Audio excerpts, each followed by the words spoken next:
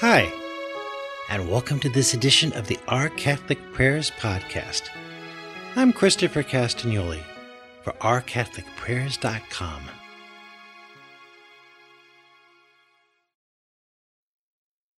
During the month of June, the Church focuses with loving reverence on the Sacred Heart of Jesus. This devotion stems in part to church approved private revelations our Lord gave Saint Margaret Marie Alacoque, a French nun in the 17th century, in which he made known to her his desire for us to show love and devotion to his Sacred Heart. We have a special section of prayers about the Sacred Heart of Jesus on our website, and I will link to some of these in the description page for this podcast. But I felt it appropriate to add some thoughts about the love flowing from his heart in this particular podcast as well, the transcription of which is also available as a blog entry on our website. For starters, God doesn't just love, He is love, as we read in the first letter of St. John, chapter 4, verse 8. He sees each of our souls as if they were high definition images with nothing hidden. And He desires our love just as intensely. Christ sees us in HD and loves us in HD. We can requite our love for Him through partaking of His graces in communion and confession, and through prayer, fasting, and following His commandments.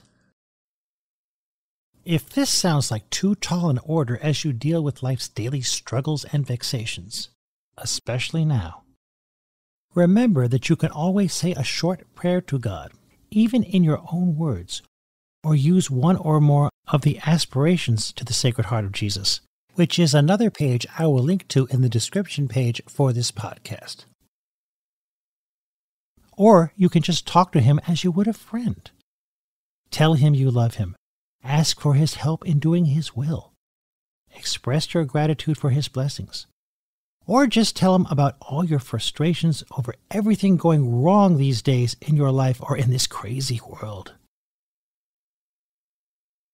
Mother Teresa has been quoted as having once said that God did not call her to be successful, but rather faithful.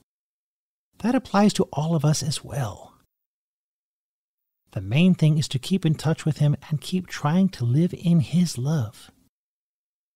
You can see touchingly tangible proof of Jesus' unbounded love for each and every one of us, and that includes you, every time you look at a crucifix. He willingly gave up his life for us in a most brutal fashion so that we might have eternal life with him in heaven one day. St. Paul wrote in his letter to the Romans that while one might find the courage to sacrifice his life for a good person, Christ died for us while we were still sinners. This is taken from his letter to the Romans, chapter 5, verses 7 and 8. And keep in mind as well that he would have made that same sacrifice just for you alone.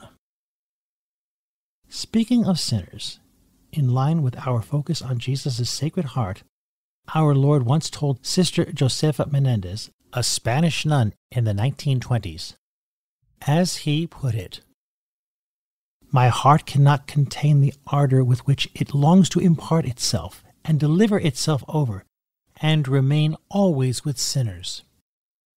How I long for them to open their hearts to me, to enclose me in them, and that the fire that consumes mine should fortify and enkindle theirs.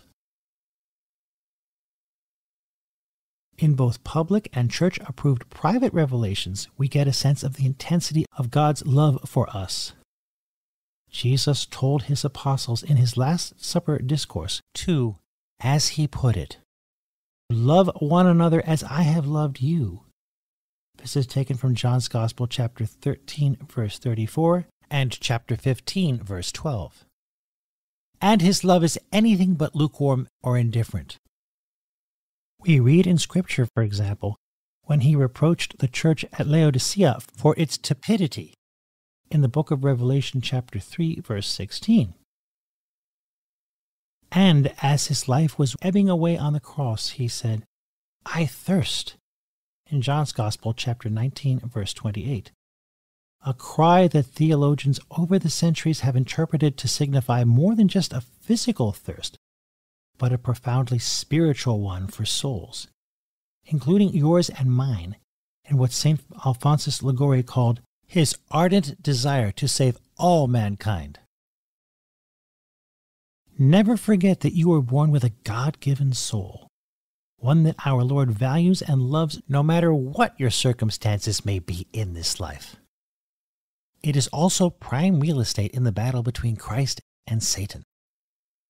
Despite what atheists and some materialistic free thinkers might claim, there is indeed an afterlife. And each of us will spend eternity either in the unspeakable joy of heaven or misery in hell, depending on how we've responded to God's graces in this life. Admittedly, Many of us are in the throes of various spiritual and emotional trials, especially these days.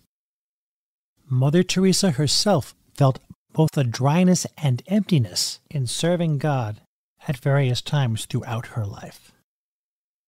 This is by no means uncommon, both for religious and laity alike. Our prayers don't get answered. Trouble seems to be brewing all around us. There are pressures at work or with the family or such that are just too much to bear. God allows us to undergo trials to strengthen our souls or cleanse them of sinful habits or inclinations.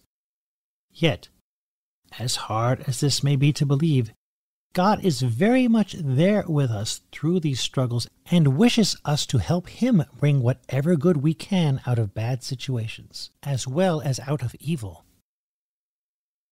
It's no secret that we are living in increasingly difficult and perilous times, both for our faith and for the world in general, and there's probably a link between those two.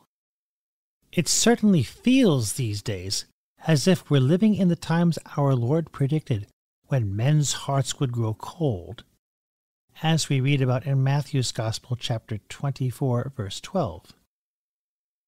However, that could have been said during any number of brutal epochs in human history. Yet, always remember that Satan doesn't have the last word. He didn't at Calvary, and he won't now or ever. Stay close to Jesus in prayer and in partaking of his sacraments, even when, perhaps especially when, it seems he's nowhere to be found. I find comfort in reading the Psalms, where often the psalmist expresses hope that God will not abandon him in the midst of misery. See Psalm 22 for a well known example of this. Trust that though he may not seem to hear you or your prayers, God has not abandoned you either. Far from it. Each one of us must try to help our Lord be a light that the darkness cannot and will not overcome. As St. Margaret Mary herself once wrote, the adorable heart of Jesus wills to establish its reign of love in every heart so as to overthrow that reign of Satan. In spite of all opposition, this divine heart will eventually triumph. Satan, with all his adherents, will be confounded. Happy will they be who have been the means of establishing His, that is, our Lord's, empire. Thanks for listening. I'm Christopher Castagnoli for OurCatholicPrayers.com. Please feel free to share this podcast. And if you're listening to it on YouTube or some other host that allows you to subscribe to podcasts, we'd appreciate it if you would subscribe to the Our Catholic Prayers podcast channel. Until next time, God bless.